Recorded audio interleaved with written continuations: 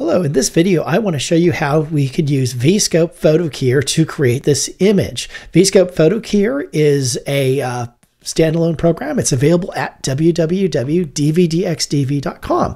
And what we have here is a green screen background. And we can see the green screen by just simply turning off the, uh, the key and turning it back on. As you can see, it's actually nothing more than a green screen.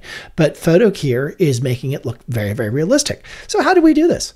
Well, we're going to start out with a new document. We're going to just going to close this one and we're not going to save it. And we just go up here to create a new document. We say start um, and that brings up our new document. So let's go ahead and resize it so we can fill up the screen. And uh, over here, um, we go up to the file menu and we say import image. Now, these are some of the sample program sample images that are available uh, with Veescope Keyer when you download it, so you can play with it immediately. And uh, under the uh, the green screen folder in the sample images, uh, we're just going to go ahead and select this one and we bring it up and automatically uh, Veescope uh, PhotoKeyer has figured out how to remove this background. It's analyzed the um, the green and it's picked the best color to uh, to get rid of it. As you can see, the green is still there. We just turn it on, turn it off. And uh, now what we want to do is we want to import a background.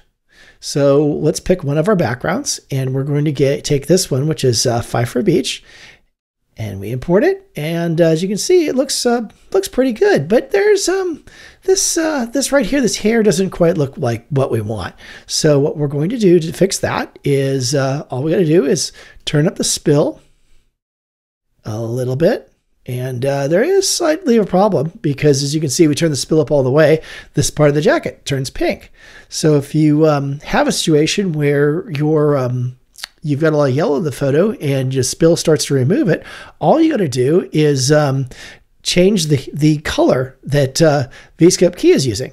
So all we have to do is drag this slider over just a little bit until this uh, right over here, this jacket, no longer has that pink look to it. So we just kind of bring up the spill to kind of remove some of that uh, that green in the hair. And uh, if you want to add a little bit more color back into it because it kind of turns gray, all we got to do is uh, pick up the um, replace color right here and select a little bit of the hair. And uh, we can uh, make some adjustments and change the opacity and make many, many different adjustments to try to kind of blend it in and make it look pretty natural. Uh, the next setting is, uh, as we look at this, is that um, we notice the background is a little bit too sharp. So what we want to do to fix that is we want to add a little bit of blur. So we come over here to the background image uh, settings and we just kind of bring up the slider over here until it looks pretty natural. And uh, that's pretty much as uh, the look that you're looking for. As you can see, the person is already pretty well separated from the background. The next setting that we want to do is we want to clean up the, uh, the hair and make it look much more natural. So we'll do that is we'll enable the edge refinement and uh, we'll turn off the light wrap for a second just so that we can speed things up uh, because these are both very, very, um, you know, performance enhancing. Uh, so what we'll do is uh, we'll bring up the erode blur first and then we'll bring up the, uh, the erode clamp. Um, I'm sorry, the, the actual blur right here.